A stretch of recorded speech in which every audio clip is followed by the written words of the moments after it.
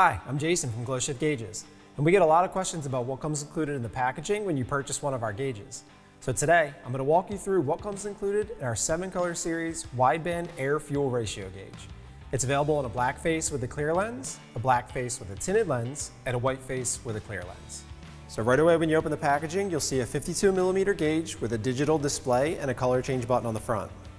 Also included in the packaging, a 10 foot sensor harness, a wideband oxygen sensor, a 7 foot gauge harness, a 5 foot power harness, a wideband control box, a 3 foot data logging output wire, a mild steel welded bung, a bung plug, a mounting bracket and hardware, a gauge visor for sun glare, and full color installation instructions.